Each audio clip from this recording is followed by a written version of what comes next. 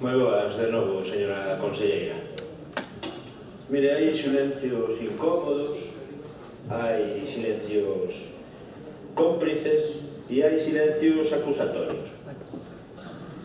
Vostede xa sei que vai agardar para o último turno onde xa non hai réplica a explicación inexplicable de como a súa consellería sigue pagando cartos a unha empresa involucrada no trama dos eh, desvaldimento de fondos públicos en curso de formación. Esa trama onde hai amigos do presidente do Partido Popular, amigos seus, onde se lle nomea a vostede habitualmente e que, polo tanto, deberá de explicar de novo. Vostede ten boa memoria, verdad que eu xa non me recordaba cando fora expulsado desta Cámara. Vostedes sí, vostedes se recordaban. Bueno, ustedes saberán por que se recordaba. Eu ¿eh? de verdade que non, non o recordaba. Sinceramente, non, non o recordaba.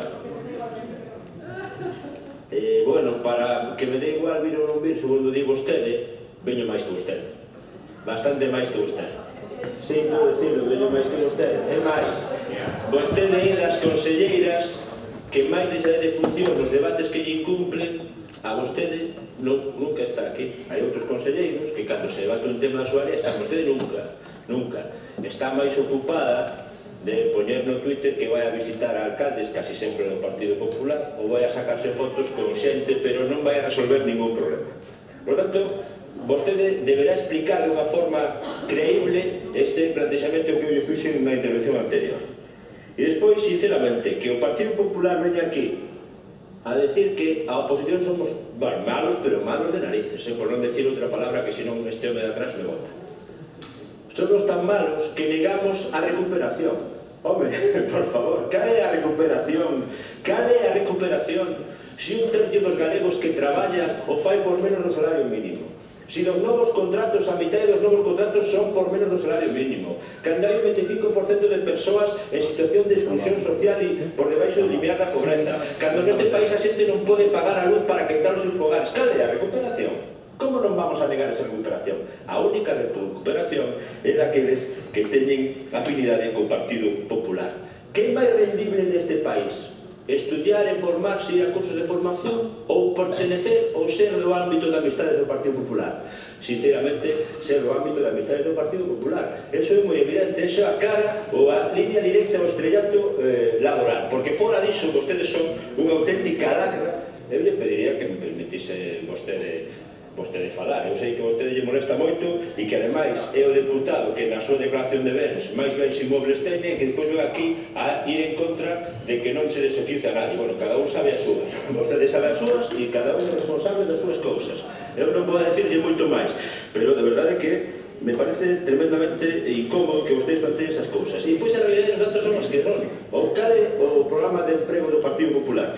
Insisto, 65.000 afiliados menos a Seguridade Social desde que vostedes gobernan. Pero falemos de emprego juvenil. Vostedes van aquí a decir que estamos nunha situación mellor. Desde que vostedes entraron a gobernar neste país de novo, se perderon 7.500 postos de traballo de emprego juvenil, de menos de 30 anos. E eso sin contar as máis de 30.000 persoas que abandonan Galicia cada ano, sin contar os xóvenes que xa non van ao traballo porque se manteñen eh, no sistema educativo porque saben que fora non hai posto de traballo. Por tanto, non me veña aquí a gabarse nunha situación que non ten nada que ver coas súas políticas, sino todo o contrario. E se teñen que ver coas súas políticas, serán para o bom, para o malo. Explíqueme a última cifra. Mes de Xaneiro. En Galicia se destruen no mes de Xaneiro 13.000 postos de traballo se incrementan 7.000 desempregados, a cuarta comunidade do conxunto do Estado onde máis desempregados eh, aparecen. Ese dato tamén será de responsabilidade súa ou é que resulta que solamente son responsables ou aqueles datos que poden manipular para vender unha realidade distinta. Sinceramente, levan, como xa expresei antes, cinco supostos plans de emprego que non están cuantificados. Vostede dixo que iba a hacer a realización, e eu lle digo, tan tan malo que son que non prepara as cousas, cal é a avaliación que fai vostede dos plans de emprego que presentou nesta Cámara. E cando digo avaliación, non é dicirme o que gastou, é dicirme resultados concretos. Cantas personas recibiron formación, cantas desas que recibiron formación están agora traballando, que porcentaxe está traballando con contrato indefinido, que porcentaxe está traballando con esa avaliación, o resto é publicidade e propaganda, que é o que vostedes saben facer moi ben. Insisto, en marzo do ano que ven estaremos aquí de novo presentando o novo programa de emprego cos mesmas cifras de pago, de paro e con mesma situación absolutamente lamentable. Pero o que de verdade que espero agora con ansia é a explicación do inexplicable que vostede deixa para o último turno a sabendas de que podemos desmontar a explicación porque é inexplicable que se siga dando carto público a unha empresa que está cuestionada por desvaldimento de dinheiro público. Mas nada menos.